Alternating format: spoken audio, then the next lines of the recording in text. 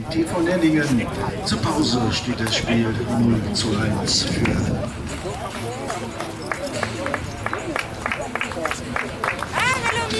Alex, unser Kapitän, Thorsten Schölkopf. Mit der Nummer 10, Felice Franzer. Mit der Nummer 11. Kann das nicht, weißt du, so schnell geht es.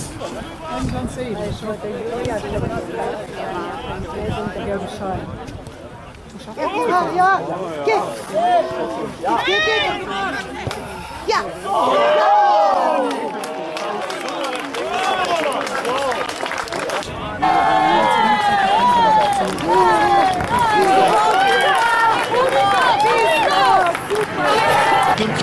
Spielminute Tor für den TV Nellingen. Torschütze mit der Nummer 17 Ingo Franz. Ja, Franz. Mach so. Jetzt will ich spielen, ja? Ich spiele und dann. Oh! Yes, Ingo! Komm, Hilfe! dich um, du bist doch. Ja, ja, Mann! Das ist hundertprozentig.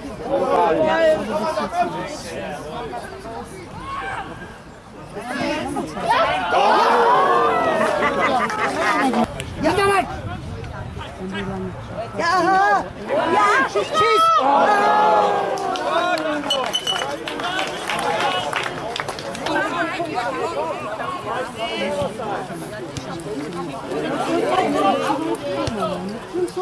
아,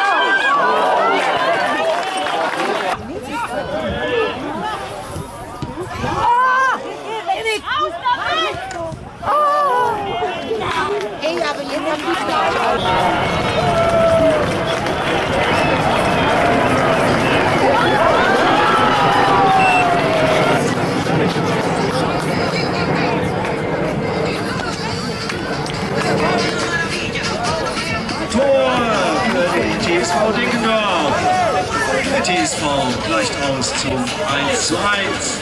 Torschütze mit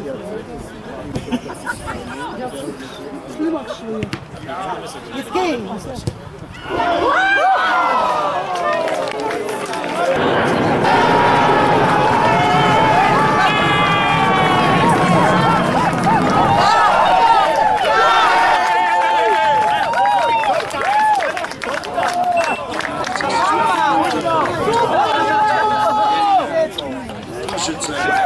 22 Jonas Scheuer.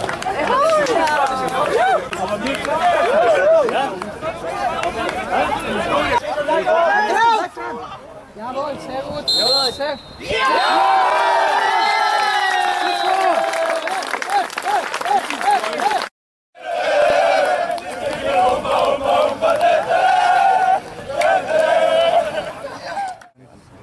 also es war ein typisches Derby, denke ich. Das hat alles äh, beinhaltet, was so ein Derby beinhaltet.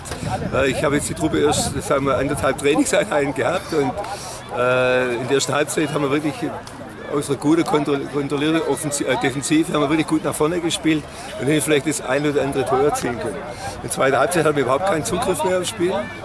Hat Dingendorf wirklich und im Mittelfeld wirklich gut gepresst und hat das Spiel in unsere Hälfte verlagert und wir haben keine Antwort mehr gefunden. Und natürlich haben bei uns auch im Spiel ein bisschen körperlich Defizite.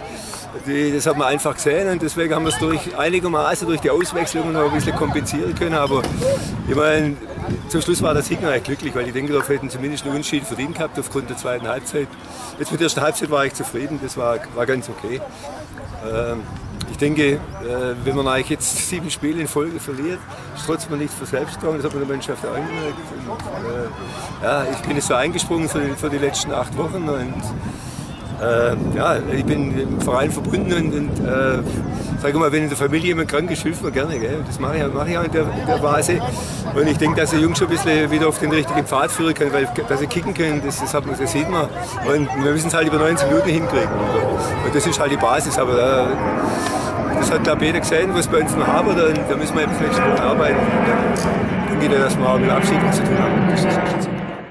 Ja gut, also ich denke, waren, war über die 90 Minuten waren wir schon die, die aktivere Mannschaft, haben, haben mehr investiert ins Spiel, äh, mehr Ballbesitz gehabt. Erste Halbzeit war es in Teilen zu, zu nachlässig. Äh, entscheidende Situationen, da war Nellingen über die Konter schon, schon gefährlicher, haben wir schlecht unterbunden.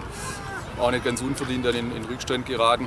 Aber ich denke, zweite Halbzeit haben wir es haben gut gespielt, engagiert gespielt, waren schneller, waren spitziger, haben äh, viele, viele Möglichkeiten gehabt. Äh, guter Torhüter vom Gegner, äh, auch zwei, zwei Innenverteidiger, die da immer wieder geklärt haben. Aber unterm Strich, denke ich, waren wir dem 2-1 wesentlich näher und äh, wie so oft äh, ist dann halt wieder so eine, so eine Nachlässigkeit, die uns die ganze Zeit schon verfolgt. Wenn äh, vier Schwarze gegen, gegen acht Weiße im Strafraum ungehindert zum Torschuss kommen, dann kann, sind es einfach individualtaktische Dinge, die, man, die da einfach äh, nicht passen. Ja. Genauso beim, beim 1-0, wo wir da auch äh, das Ding eigentlich schon, schon vorher klären können. Also wir haben den Gegner im Prinzip zu den zwei Tore eingeladen. Der musste da wenig rausspielen oder wenig investieren. Und deswegen ist unterm Strich einfach, einfach bitter, ja, dass man so ein Spiel abgibt.